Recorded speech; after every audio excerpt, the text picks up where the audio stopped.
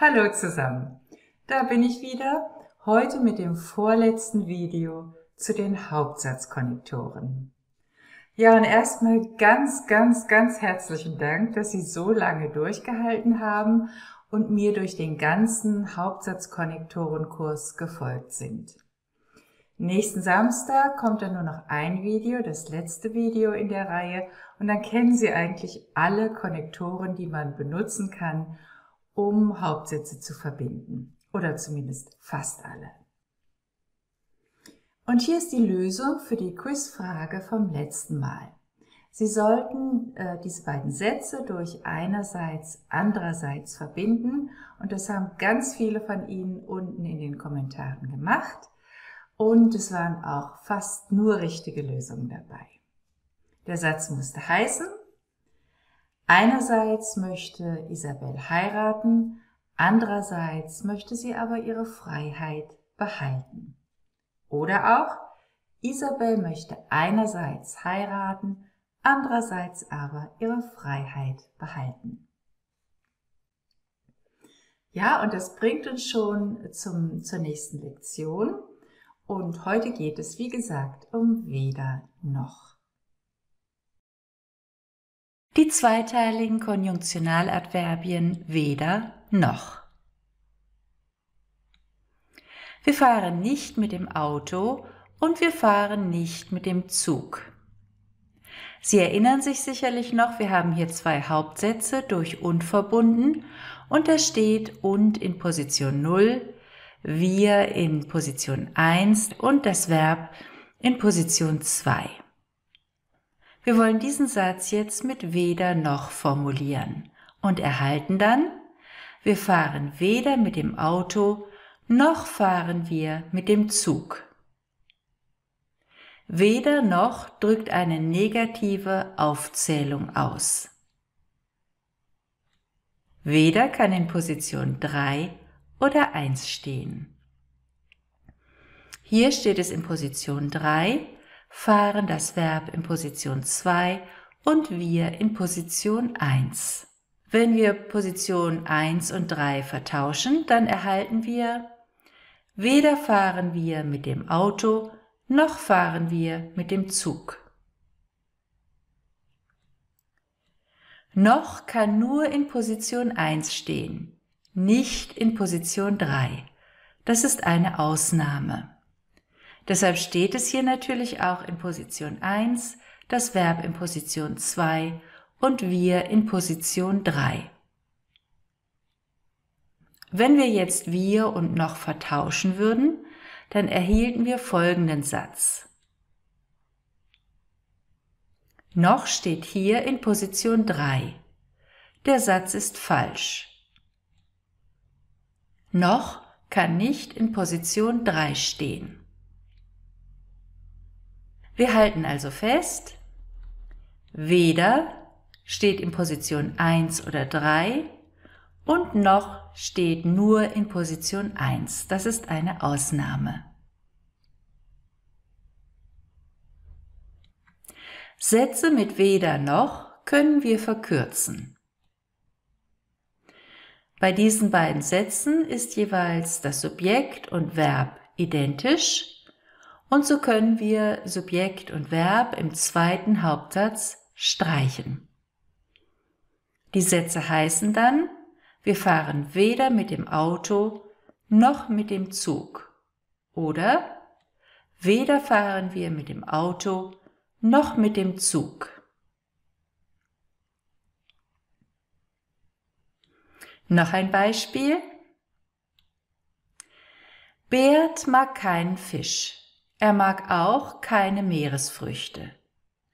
Meeresfrüchte, das sind zum Beispiel Krebse oder Langusten, Hummer oder Muscheln oder Schrimps. Das sind alles Meeresfrüchte. Und die mag Beat nicht. Wenn wir jetzt diesen Satz mit weder noch formulieren möchten, dann erhalten wir Beat mag weder Fisch noch mag er Meeresfrüchte. Mit Verkürzung können wir Verb und Subjekt im zweiten Hauptsatz streichen und erhalten dann Beat mag weder Fisch noch Meeresfrüchte. Oder auch weder mag Beat Fisch noch Meeresfrüchte. Wenn sich Studenten mit Hilfe meiner Videos auf Prüfungen vorbereiten, dann höre ich ganz oft das folgende Feedback. Wenn Sie das erklären, ist das für mich überhaupt kein Problem. Aber wenn ich dann vor meinem Text sitze und Sätze formulieren soll, dann passiert mir trotzdem wieder Fehler. Ja, und ich kann leider ähm, nichts dazu sagen, als das ist leider so. Ähm, es ist so ähnlich wie auch beim Wortschatz oder wie wenn Sie Vokabeln lernen. Man sagt, man muss eine Vokabel mindestens siebenmal sehen, bis man sie selber aktiv benutzen kann. Und mit Grammatikregeln ist das nicht anders. Das war eigentlich der Grund, warum ich überhaupt angefangen habe, solche Grammatikvideos zu machen. Man muss die Regeln immer mal wiedersehen. Und ideal ist es natürlich, wenn Sie dabei sind, einen Text zu schreiben und Sie denken, ach, hier möchte ich gerne weder noch verwenden. Wenn Sie sich das Video in dem Moment noch einmal ansehen und dann ist die Chance auch größer, dass Sie weniger Fehler machen oder vielleicht sogar gar keinen Fehler machen. Der Trick besteht einfach darin, es öfter zu wiederholen, öfter anzusehen und auch beim selbermachen zu benutzen. Das ist auch ein Grund dafür, dass ich die Videos sehr kurz gemacht habe und immer nur einen bestimmten Punkt behandle in den Videos, damit Sie die schnell wiederfinden, wenn Sie etwas brauchen.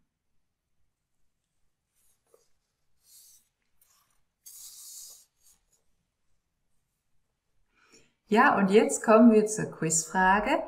Diesmal ist die Quizfrage eher gedacht für fortgeschrittene Studenten und ich möchte etwas Neues ausprobieren, auch um Danke zu sagen ähm, für die viele Zeit, die Sie jetzt in diesen, mit diesen Videos schon mit mir verbracht haben. In der C1-Prüfung müssen Sie ja eine Grafik beschreiben und ich habe Ihnen dieses Mal so eine Grafik mitgebracht. Sie sehen die hier. Das ist eine Fantasiegrafik. Und äh, die Aufgabe ist nun, beschreiben Sie die Grafik und verwenden Sie die Hauptsatzkonnektoren aus unserem Kurs. Sie können natürlich weder noch verwenden, aber Sie können auch alle anderen Konnektoren verwenden, die wir in diesem Kurs besprochen haben. Die Frage ist, was essen die Leute in den vier Ländern? Machen Sie eine Beschreibung und benutzen Sie all diese Konnektoren, die Sie jetzt ja kennen.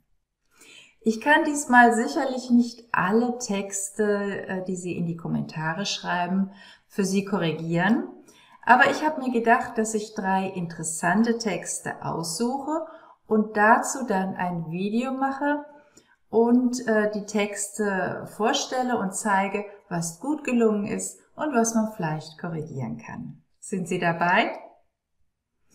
Ansonsten sehen wir uns am nächsten Samstag wieder mit dem letzten Video.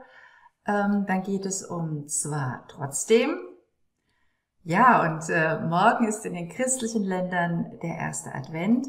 Ich wünsche Ihnen einen wunderschönen ersten Advent und bis nächste Woche. Tschüss!